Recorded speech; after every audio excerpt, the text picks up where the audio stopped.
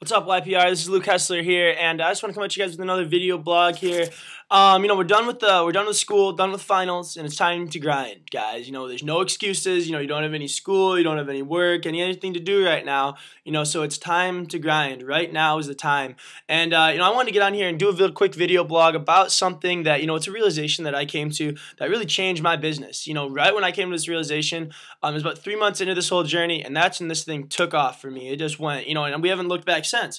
So and I want to share that with you guys. And that thing is this fear of being told no. You know, a lot of us have it.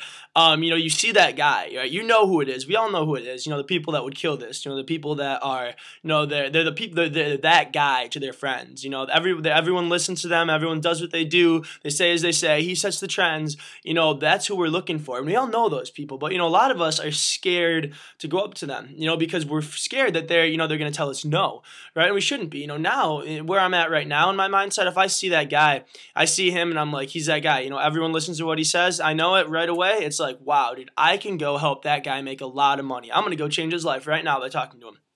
Dude, that's how I look at it. When I first started, I would see that guy and be like, oh my gosh, you know, I know he could kill this, but, you know, what if he doesn't like it? You know, what if he judges me based on it? What if he ridicules me from it? You know, he's, he has too much things going on. He's too busy. You know, obviously, he's too many people to talk to. You know, all these little excuses that you make up in your head in order to get you not even to try. You know, but you got to remember that you miss 100% of the shots you don't take in life. All right, so so never let the fear of saying no um, get in the way. So here's the difference though. Why are we scared to why are we scared to go tell our friend or tell someone about this and, and be told no? Whereas if I go to a movie and I like the movie, I go tell my friend about it. All right, he doesn't like the movie. He's like, dude, actually, you know, I'm not, I'm not a big fan of those horror movies. You know, I'm just like, oh, okay, that's cool. You know, I don't, I don't take it personally. Whereas if someone says no to me in Vemma, I take it personally. It's like it's not like they're just saying no to the Vemma business. It's almost like they're saying no to me. You know, and that's the big difference is you have to realize that they're not saying no to you. All right, they're saying no to the business model, and really they're saying no to themselves. All right, because everyone in this can be successful. You know, this business, Vemma plays no favorites at all. You know, we have the same product, same compensation plan, same support, same resources, same everything. All right, so, you know, the only X factor in whether you're going to succeed is you. So that's all your goal is to give this person the opportunity. You know, Bob Proctor, there's a quote that I love, and he says, you know, faith and fear both require believing in something you cannot see. All right, the choice is yours. And and the key to that quote is the choice. You know, any situation you have in life, you know, you don't we're not we don't know the outcome for sure. We can't, you know, we cannot prove that. You know, only God knows that, you know. So we have to we can either be faithful of what's going to happen or we can be fearful of what might happen. All right, so that choice is yours, guys. You know, here's something that I found. Um, this is this is what really hit me. You know, that, that really came to the realization that changed my business. You know, is that in order to in order to drown, you need to uh, sorry, uh, feed your faith in order to starve your fears.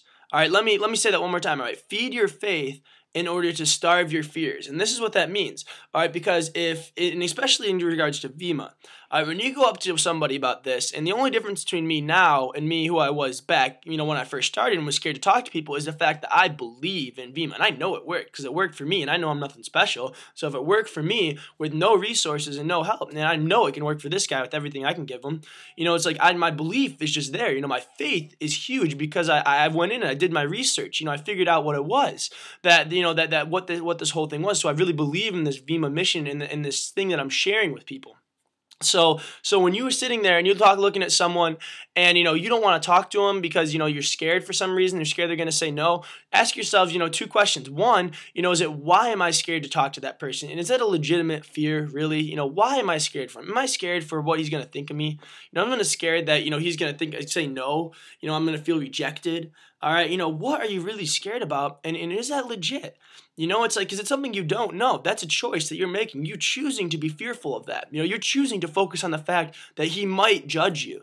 You're choosing the fact that he might reject you. You're choosing on the fact to focus on the fact that, you know, he might say no.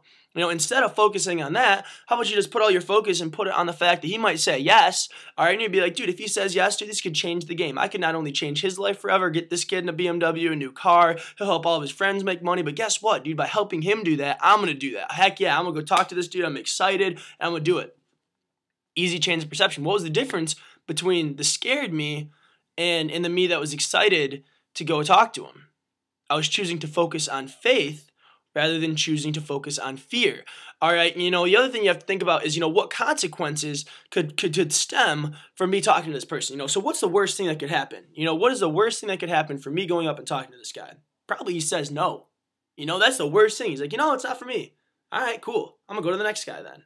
All right, I'm gonna go to the next. That's totally cool. All right, because you have to understand is that you know the worst thing can happen. They say no, and this is the law of averages. This is the this is the key to success in this business is the law of averages. All right, I compare it to baseball. You know, I was actually I was gonna go play baseball in college before I hurt my shoulder, and uh, you know that's why I'm glad I got this whole Vemma thing here. But um, you know, in baseball. You hit, you get a hit three out of ten times. All right, you're batting 300. You're going to the Hall of Fame. All right, and that's the same in Vemma, man. If you can go talk to 10 people, if you can get three or four of them to do this thing, man, you are killing it. You are going to the Hall of Fame. How are you going to go out and be successful? You know, you're going to go out and talk to 100 people, and then now, you know, if you get three of them out of every 10 that you get, now you have 30 kids in your team. Now you go help those 30 kids go out and I'll talk to 100 people, and you know, that's going to keep getting bigger and bigger and bigger and bigger and bigger, and that's how you see the exponential growth. But here's the thing is that the law of averages also increases as you get better. You know, when I first started this, I probably got one out of 10 that, that people would actually do this thing when I started. Now I go and talk to people, I can get like nine out of ten. You know, because it, it talks. You know, the the the only the, uh, um credibility talks. All right, so it gets easier, and as you make more and more money, you're gonna figure out what works and what doesn't work, and you're gonna keep doing what works, and you're gonna stop doing what doesn't work. All right, you know, and, and I have a great a great example of this whole being scared to say no. You know, is is you have to understand the you know one simple decision in your life like that can change your entire reality forever. Evan Schultz, the guy who enrolled me, when he first came up to me, I said absolutely not to this, all right? And I made fun of him for it. You know, I said this wasn't gonna work. My mom's done this, my dad's done that, dude. You're crazy. Trust me. And I made I made fun of him, like I said. All right. Four months later, think of this. He was scrolling through his phone and he saw me. He saw my name. He could have he could have thought what most of us think, and it's like, oh, I don't want to tell Luke about this again. Dude, he's just gonna make fun of me. He's gonna say no, like, oh, this sucks. I don't want to tell him about it. But he didn't have that. All right. Instead, he saw the hope. He decided to focus on the faith rather than the fear. And he's like, dude, I know Luke could kill this. Dude, he's social. He's in a fraternity. He's business minded. He's a smart kid. You know, I know if he sees this for what it is, he's going to kill it. I got to tell him about it. I got to at least get him to look at it. You know, he did. He got me to look at it. And look at where we are now, man. I make like six, seven grand a month right now. And, and this is just the beginning, you know? And, and what else would I be doing? If he wouldn't have came back to me, I'd still be in college doing nothing with my life. You know, just trying to survive through classes. I would have just got out of exams. You know, I probably would have crammed for the last week, you know, stayed up all night, didn't sleep at all, just in order to get three fives in all my exams, then I'd forget all the information the next day. You know, that's what I would still be doing in my life, but instead, you know, I'm focused here building a business, you know, building a fortune, not just an income, but a fortune. You know, this is something that's going to pay me for the rest of my life and it's going to pay you guys for the rest of your life too.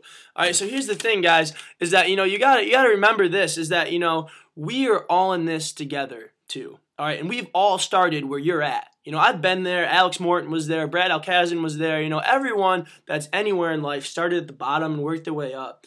You know, and I think too many times is that you know the leaders they don't like to talk about you know their weaknesses. They don't like to talk about their struggle because you know they want to focus on that success that they have and all about the excitement. You know, but sometimes you got to work with the negatives in order to get that real positive out there, guys. So you know don't be scared of people saying no to you. You know, don't be scared of what your friends are gonna think. You know, because guess what? You know, those that person that that's, that's making fun of you was he doing any good for you before? Was he helping you succeed in your life in any way before this? Probably not.